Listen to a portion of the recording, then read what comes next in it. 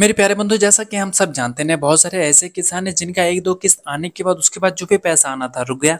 और बहुत सारे ऐसे किसान हैं जिनका आठवां, नौवां किस्त आ गया, उसके बाद पैसा रुक गया। और बहुत सारे ऐसे किसान हैं जिनका पंद्रहवीं किस्त आ गई, लेकिन सोलहवीं, सत्रहवीं किस्त नहीं आई। और बहुत सारे ऐसे किसान हैं जिनका पैसा आ ही नहीं रहा है। अगर आपका पैसा नहीं आ रहा है तो कहीं ना कहीं सबसे पहले आपके मन में सवाल आता है, यार, मैं जाऊँ सी सेंटर पर तो कहीं ना कहीं आप जाते हैं सीएससी सेंटर पर वहाँ पर अपना स्टेटस की जानकारी लेना चाहते हैं, लेकिन वेबसाइट में इसमें कुछ ना कुछ प्रॉब्लम चल रही है, आपकी स्टेटस की जानकारी नहीं मिल पा रही तो सी सेंटर के माध्यम से आपको बताया जाता है कि आप अपने कृषि कार्यालय पे चले जाइए, वहाँ से जानकारी ले लीजिए। तो कहीं ना कहीं आप जाते हैं कृषि कार्यालय पे, वहाँ पे जानकारी लेते हैं। जानकारी लेने के बाद भी आपको कंफर्म नॉलेज नहीं मिल पाता कि आपको क्या करना चाहिए, ताकि आपका पीएम किसान का पैसा आपके अकाउंट में आना शुरू प्यारे बंधु, मैं आपको बता तो बहुत सारे लोग कमेंट करते हैं, मैं कृषि कार्यालय पे गया, फिर भी मेरी समस्या का समाधान नहीं हुआ। प्यारे बंधु, मैं आपको बता दूँ, अगर आपके समस्या का समाधान नहीं हुआ तो इस वीडियो में आपको मैं डाउट क्लियर करने वाला हूँ कि किस कारण से आपका पैसा नहीं आ रहा है और आपको क्या करना चाहिए ताकि आपका पीएम किसान का पैसा आपके अकाउंट में आना शुरू हो जाए। प्यारे बंधु आपको करना है? कि सिंपल तरीके से अगर आपके पास मोबाइल है तो मोबाइल सबके पास तो रहता ही है। तो क्या करेंगे आप? सिंपल तरीके से अपना गूगल ब्राउज़र ओपन कर लेंगे। अगर आपके पास लैपटॉप है या फिर कोई डेस्कटॉप है तो अपना क्रोम ब्राउज़र या फिर मोजिला ब्राउज़र ओपन कर सकते हैं। तो जैसे अपना ब्राउज़र ओपन करेंगे तो क्या करनी है? आपको अपनी गूगल में जानी है। गूगल में आने के बाद आपको लिखना है पीएम किसान डॉट जी डॉट इन क्या लिखना है? पीएम किसान डॉट जी डॉट इन जैसे लिखेंगे डायरेक्ट इसके आप वेबसाइट पे आ जाएँगे। प्यारे बंधु, एक बेसिक तरीका भी वेबसाइट सर्च करने का मैं कई वीडियो में बता चुका हूँ। प्यारे बंधु, मैं आपका ज़्यादा टाइम नहीं लूँगा कि फाल मैं स्टार्टिंग में जाके बताऊँ कि गूगल कैसे सर्च करेंगे, कैसे पीएम किसान की वेबसाइट पे जाएँगे। अगर मैं बताऊँगा तो शायद आपका कुछ ना कुछ टाइम नुकसान होगा। तो चलिए डायरेक्ट मुद्दे पे आते हैं और आपको मैं समझाता हूँ पैसा किस कारण से आपका नहीं आ रहा है। तो क्या करनी है डायरेक्ट आपको पीएम किसान की ऑफिशियल वेबसाइट पे आ जानी है और वेबसाइट पे आने के बाद सबसे पहले आपको अपने स्टेटस की जानकारी लेनी है। स्टेटस की जानकारी क्यों लेनी है? क्योंकि जब तक आपको एक्चुअल में कन्फर्म आपको नॉलेज नहीं रहेगा कि आपकी समस्या है का तो कैसे आप समाधान कर सकते तो अपनी समस्या जानने के लिए सबसे पहले आपको आ जानी है स्टेटस वाले ऑप्शन में। देख सकते हैं आप लिखा है नाउ एवर स्टेटस इसका मतलब है कि अपना स्टेटस जाने, अपनी स्थिति जाने। तो क्या करनी है? आपको इस पर क्लिक कर देनी है। तो मेरे प्यारे बंधु, जैसे आप क्लिक करेंगे तो यहाँ पे पूछ रहा है एंटर रजिस्ट्रेशन नंबर तो क्या करनी है आपकी जो रजिस्ट्रेशन नंबर है, आपको यहाँ पे टाइप कर देनी है। और यहाँ पे शो कर रहा है कैप्चर कोड तो क्या करनी है कैप्चर कोड आपको यहाँ पे टाइप कर देनी है। कैप्चर कोड टाइप करने के बाद लिखा है गेट ओटीपी तो क्या करनी है आपको गेट ओटीपी क्लिक करना है। तो आपके मोबाइल पे एक ओटीपी आएगा ओटीपी मेंशन करेंगे। तो आपकी जो स्टेटस है, आपके सामने कुछ इस तरह से शो हो जाएगी। लेकिन प्यारे बंधु, मैं आपको बता दूँ, बहुत सारे फ्रेंडों को पता नहीं, उनका रजिस्ट्रेशन नंबर है क्या?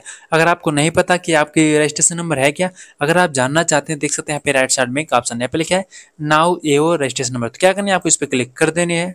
तो आप जैसे क्लिक करेंगे, देख सकते हैं आपके सामने कुछ इस तरह से इंटरफेस शो हो जाएगी। यहाँ पे देख सकते हैं पहला ऑप्शन शो कर रहा है मोबाइल नंबर का और दूसरा ऑप्शन शो कर रहा है आधार कार्ड नंबर का।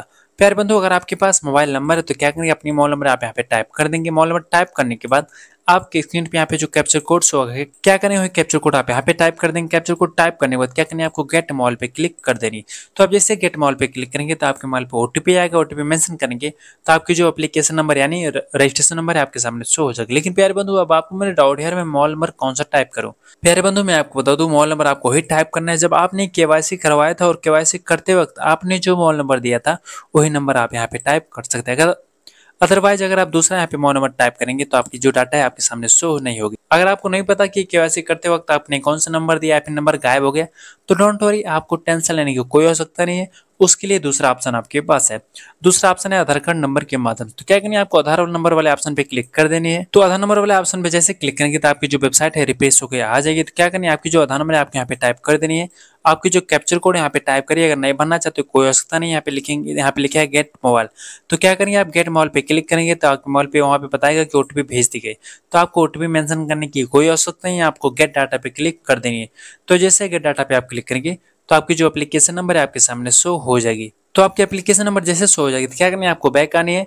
पुनः नाउ एयर स्टेटस पे क्या करनी है? आपको क्लिक करनी है, अपनी एप्लीकेशन नंबर डालनी है कैप्चर कोड लगानी है गेट ओ पे क्लिक करना है तो आपके मोबाइल पर ओटीपी आएगा ओटीपी मेंशन करेंगे तो आपकी जो स्टेटस है आपके सामने कुछ इस तरह से शो हो जाएगी। प्यारे बंधु, मैं आपको बता दूँ, यहाँ पे अगर आपकी जो लैंड सीडिंग है, अगर यहाँ पे एस शो कर रही है तो डोंट वरी नहीं टेंशन आपको लेना है, पैसा आएगा। और अगर आपकी जो के है एस है, फिर भी पैसा नहीं आ रहा है, या फिर आधार की जो स्टेटस है, यहाँ पे एस है तो अगर आपका पैसा नहीं आ रहा है तो आपको वेट करना है कि आगे अगर आपका पैसा नहीं आ रहा तो आपको वेट करने में बताऊँगा कि आप कैसे सही कर सकते हैं। लेकिन प्यारे बंधु अगर आप स्टेटस चेक करते हैं और आपकी जो स्टेटस है कुछ इस तरह से शो कर दे तो चलिए मैं आपको दिखा देता हूँ। देख सकते हैं आप लिखे है लैंड सीटिंग यहाँ पे शो कर है नो का और इससे लिखा आधार बैंक अकाउंट सेटिंग यहाँ पे भी शो नो शो कर है और जो देख सकते हैं, यहाँ पे एक शो कर है एक के अगर आपका नो शो कर यानी तीनों में से आप चेक करते हैं, अगर आपका शायद तो अगर लैंड सेटिंग एस है, अगर आपकी जो आधार सेटिंग है नो है तो आप कैसे सही कर सकते हैं? मैं आपको बताता हूँ। या फिर आपका हो सकता है लैंड सेटिंग एस हो आपके बैंक आधार से एस और के जो है नो है। तो अगर आपका कुछ इस तरह से शो करे तो आपको सही करने का मैं तरीका बताता हूँ। अच्छा लैंड शेडिंग एस होता कैसे और नो क्यों लगता है? प्यारे बंधु, मैं आपको बता दूँ। जैसा कि जब पीएम किसान की जो योजना आई थी ना, उसमें बहुत सारे किसान जो है आवेदन कर दिए थे। आवेदन बहुत सारे लोग जिनके नाम से खेत नहीं तो भी आवेदन कर दिए थे।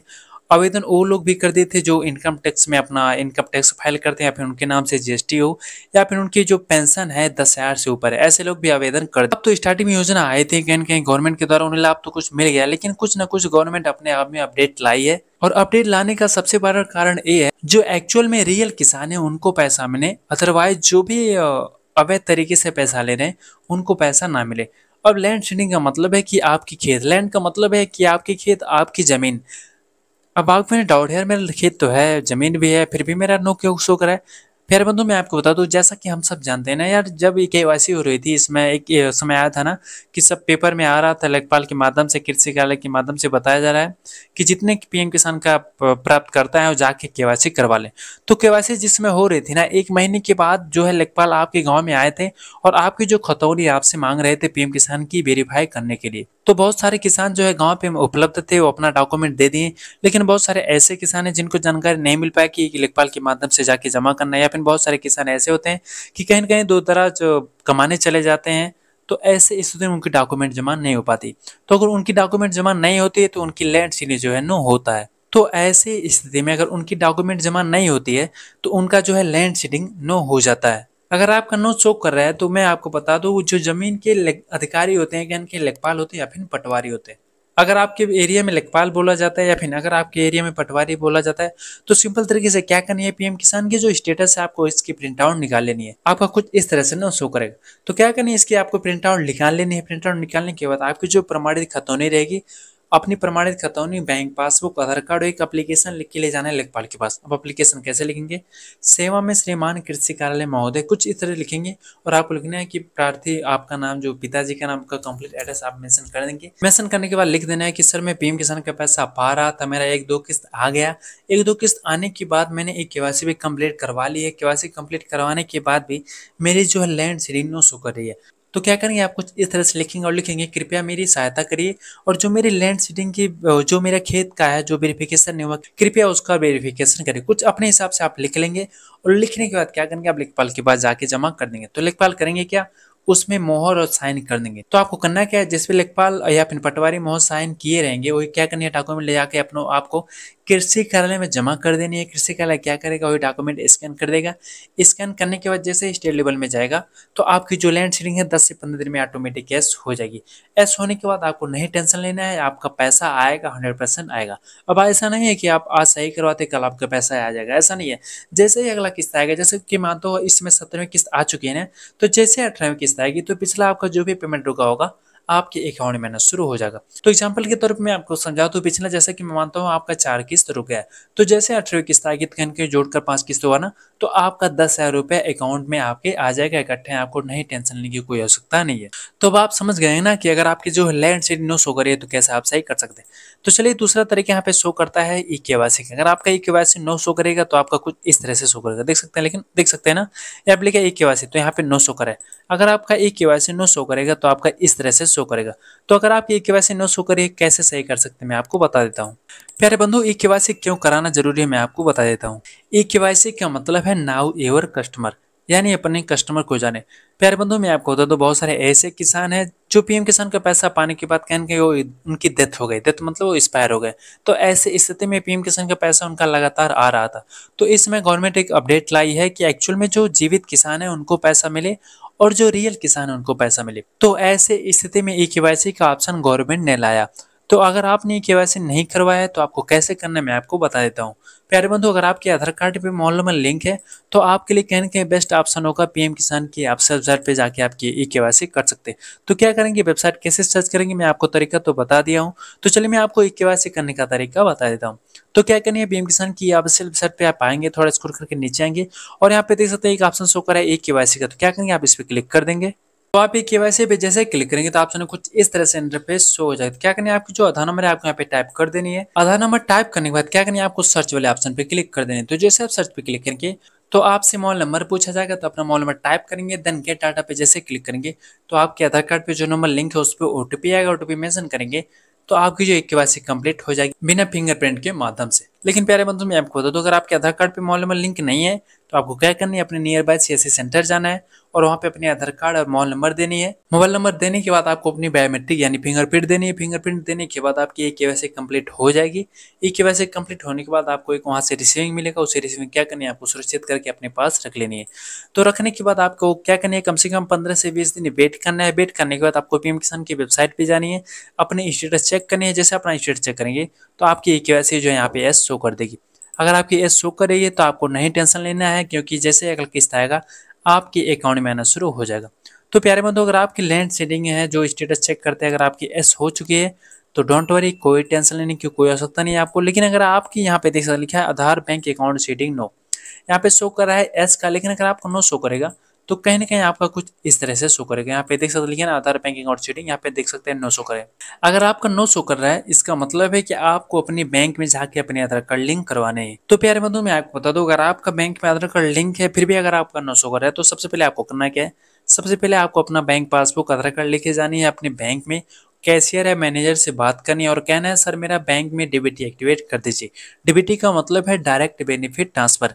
Direct benefit transfer का मतलब है कि सरकारी जो भी पैसा आएगा, कहीं कहीं डीबीटी के माध्यम से आता है और आधार मोड के माध्यम से आता है। आधार मोड का मतलब है कि आपका जिस बैंक में आधार कार्ड लिंक है, उसमें पैसा आएगा और अगर आपको सरकारी पैसा पाना है तो आपको डीबीटी एक्टिवेट कराना ज़रूरी है।